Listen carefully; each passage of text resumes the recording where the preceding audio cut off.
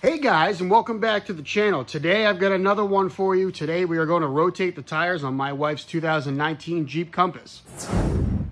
All right guys, so here's everything you're gonna need with tools and supplies to get this job done. You're gonna need at least four jack stands to get the whole Jeep up and off the ground. You're gonna need a jack, you are going to need a impact wrench, or you can do it by hand if you so choose. I'm not going to. So an impact wrench, then we're also going to use a, believe it is a number 19 uh, millimeter socket for the job. A piece of wood, preferably something hard.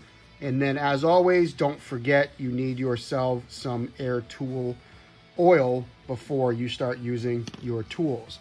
Now, again, I want to go on and just say that what we're going to show you today and what I'm going to do today is for entertainment purposes only. This is something that can be dangerous, and I just want you guys to know that what I'm showing you and the points that I'm going to jack off the, the vehicle are things that I want to make sure that you guys understand that I'm doing them.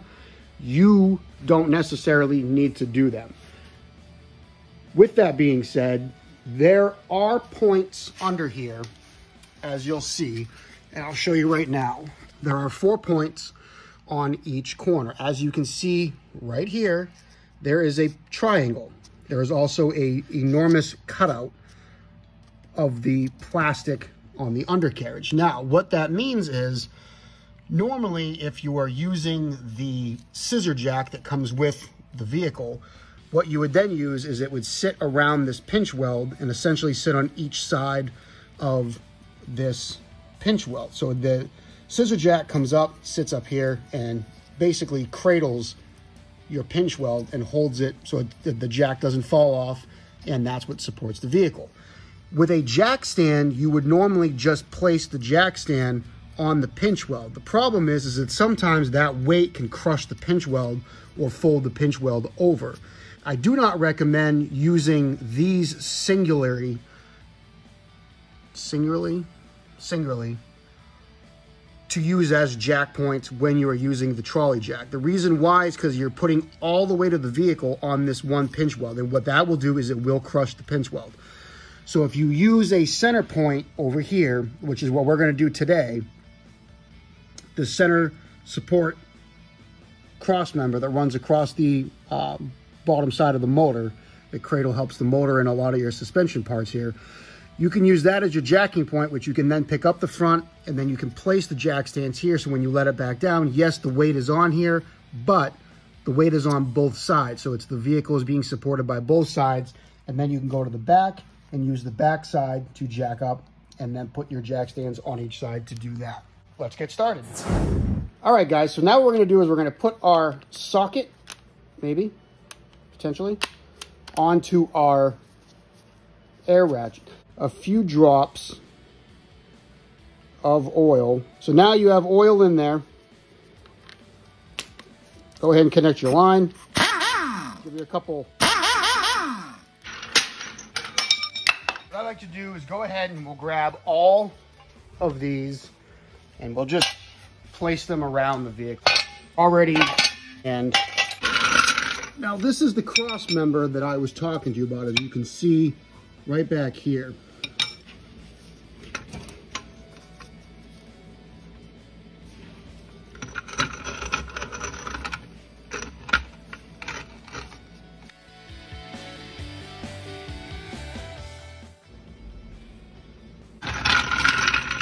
The jack stands up on those pinch welds we were talking about earlier. It seems to be fine. Give it a quick little, seems perfectly stable.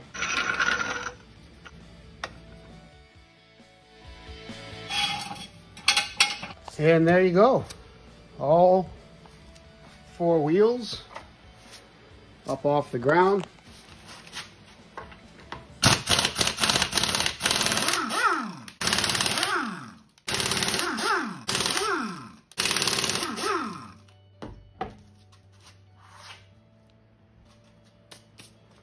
And we'll just repeat the process on all four wheels. All right, guys, and this is how we make thumbnails. Thumbnails are always fun. But as you can see, we got her entirely up off the ground. Everything's looking good. All right, guys, so what we're going to take a look here is you can see there is a bit of uh, surface rust uh, that is starting on here. Uh, I'm going to take care of that. I'm going to get some uh, steel wool, I think, or just a wire brush uh, and knock that off. Uh, as you can tell, that's probably been sitting on there a while. we haven't, it's probably been, I don't know, 5,000-ish miles since I've rotated her tires, so it's just definitely built up there. Um, the last two times since we've bought it, uh, it's gone back to the dealership to have all of the uh, oil changes and stuff done. Uh, I just am no longer going to do that. I'm not going to pay $130, I think it was the last time, for an oil change and a tire rotation when I can clearly do this at home in my garage. So that's something to keep in mind as well. But while you're under here, just kind of, you know, take a, take a quick little peek around and just see, touch everything. Make sure like, you know, all your wheel speed sensors and stuff and your ABS lines and all that stuff seem to be in good condition. There's no abrasions, no nicks, no cuts, nothing that would kind of alarm you, you know, make sure you grab anything that, that you can just kind of go around real quick and just grab and everything seems to be okay. Like I said, the biggest thing I can see here, honestly, I mean, besides it needing a wash, uh, is just I, am gonna I'm gonna clean this up real quick with a with a wire brush and just kind of try to knock that off, just because the wheels seem to come off a little hard. So I mean, two minutes of your time, a little bit of elbow grease.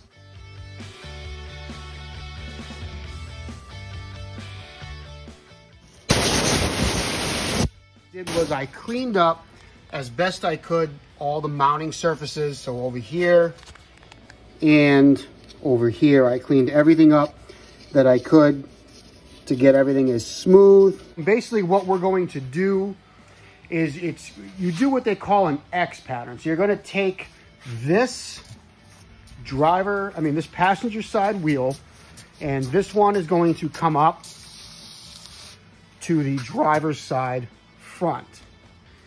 This driver's side front tire is going to come straight back here.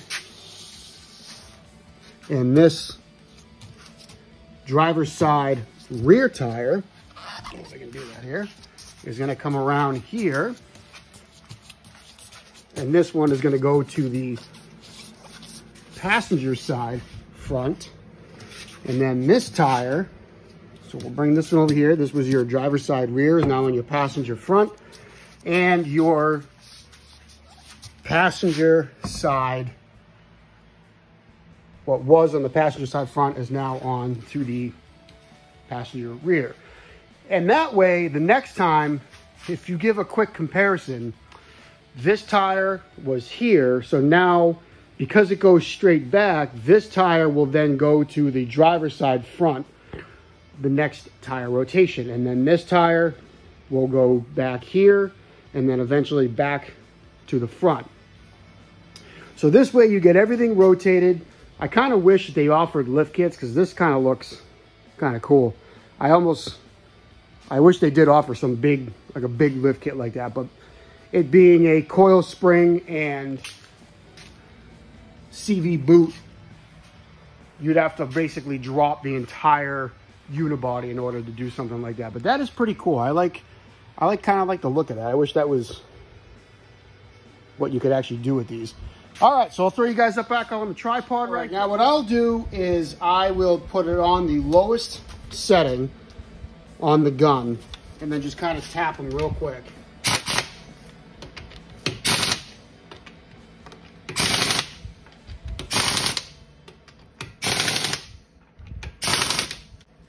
And again, do that on all four tires.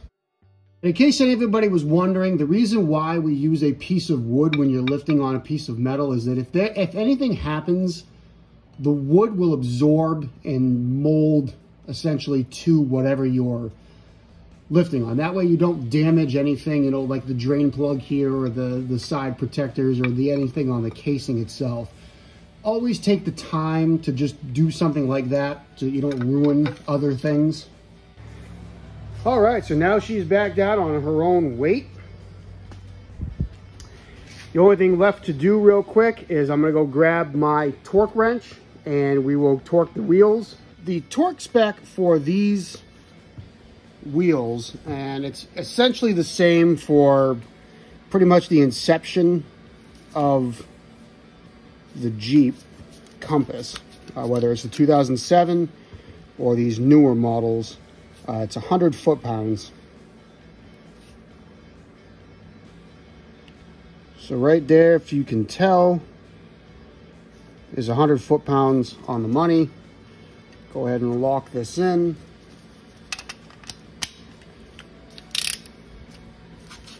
Always do a crisscross pattern.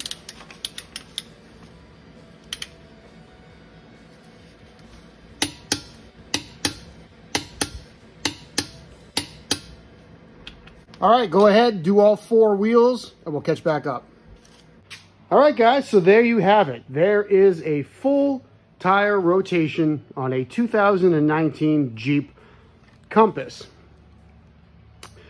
Don't forget, make sure, as I stated before, I am not a professional. If there are things that I'm doing that seem sketchy, it's probably because they are. Using the cross members and the rear diff may not be for everybody. Take your time, do it right, and you'll be able to do your own tire rotations. All right, guys, so I hope you enjoyed this video on doing the tire rotation on a 2019 Jeep Compass. Obviously, this encompasses all the newer body style except for the 2022s. Very easy, um, as I stated, 100 foot-pounds of torque when you are retorquing the wheels back down. Again, I am not a professional. Read the owner's manual, follow your owner's manual. Hope you guys enjoyed the video. Please leave a comment. Let me know what you think. Give me one of these if you so choose.